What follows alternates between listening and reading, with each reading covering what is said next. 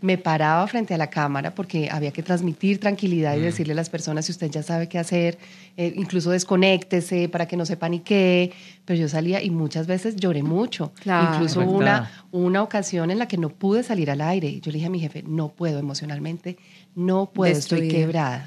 Pero pararse ahí con esa responsabilidad de informar, de dar tranquilidad, sí, sin duda fue el mayor reto. Y ha sido el mayor reto. Esa tranquilidad es importante. A mí me, me paran ahí yo, ¡vamos a morir! ¡Vamos a morir! ¡Ah, por su ¡Ya, vida! desconéctenos! Yo, Cometimos un montón de errores.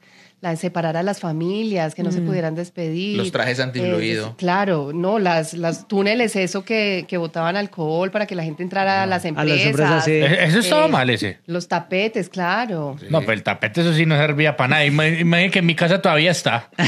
No lo han quitado. Hombre. Tenía los trajes antifluido que uno parecía un condón gigante andando por ahí por la vida. No, no, qué oso. Qué bonito. Tú eres además epidemióloga, ¿cierto? Estudié epidemiología. Afortunadamente la pandemia nos enseñó a todos qué eran qué hacían los epidemiólogos. ¿Cómo le- cómo y le fue? para ¿Cómo? ahí iba la pregunta, ¿cómo te fue con ello? Yo creo que ese fue el reto más grande, enfrentarte al COVID-19 y ser tú la Muy que bravo. informaba, porque la gente ponía todas las expectativas en ti. O sea, lo que tú dijeras, hacíamos. No, venga, venga, que venga, que va a hablar la doctora. Shh. Tal cual. Sí, Y toda la gente en los restaurantes era así mirando a ver qué, qué horas iba a hablar la doctora, qué iba a decir. Claro. Muy duro, muy duro porque ustedes saben que esto fue aprender paso a paso, proceso, día a día.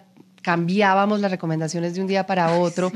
Y fuera de eso, ustedes no saben la cantidad de mensajes que yo recibía. La gente necesito una UCI, mi mamá, mi familiar, ayúdenos, infectólogos, las, los médicos de la UCI me escribían, ayúdanos, se nos va a empezar a morir la gente en la calle. No, no. Entonces ustedes no saben, yo tomaba aire, me paraba frente a la cámara porque había que transmitir tranquilidad y decirle a las personas si usted ya sabe qué hacer, eh, incluso desconéctese para que no se paniquee, pero yo salía y muchas veces lloré mucho. Claro. Incluso una, una ocasión en la que no pude salir al aire. Yo le dije a mi jefe, no puedo emocionalmente, no puedo, estoy quebrada, sí.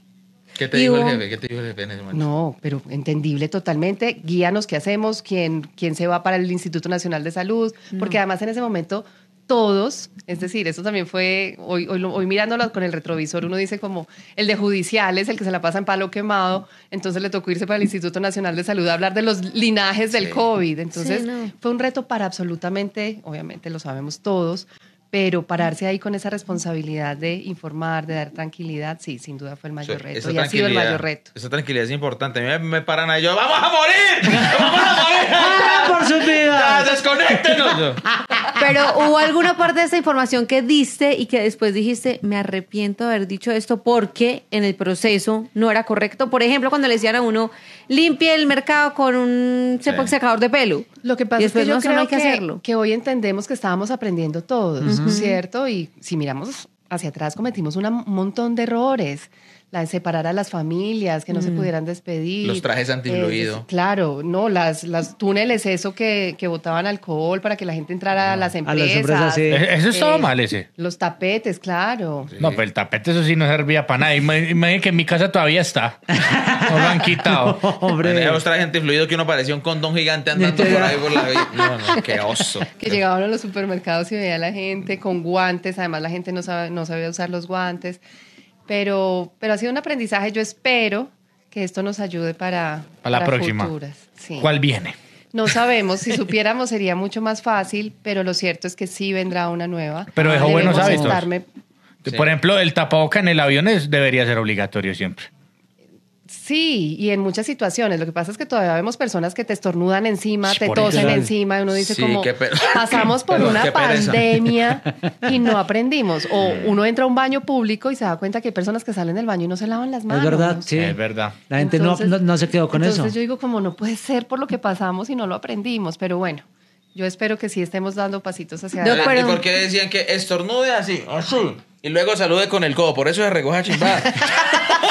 No, porque eso te quedaba aquí en el ángulo Ah, interno y saludabas era con el... Con, Ah, el- ya, pero ahora dicen que muchas personas que adquirieron ese hábito del tapabocas, de la lavada de manos Eh. y que se obsesionaron con ese hábito, también están haciéndole un daño al cuerpo. Entonces uno ya no sabe qué hacer, si taparse, Sí. cuidarse o no. Ya se pasa. Porque Claro, dicen es que que, es- esas bacterias también son importantes, Claro, o eso porque que hay. en la piel tenemos unas bacterias que cumplen una función importante de protección y cuando tú le pones estropajo, cuando tú le pones jabones con una cantidad de sustancias, lo que estás, estás barriendo, estás barriendo lo malo, pero también estás barriendo lo bueno. Entonces, eh, resecas, aumentas el riesgo de alergias, aumentas el riesgo de irritaciones.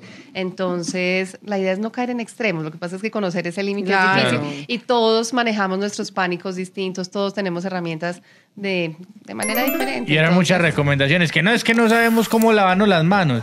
Yo decía, hombre, si no sabemos lavarnos las manos, ¿cómo no estaremos lavando el jopo? 926.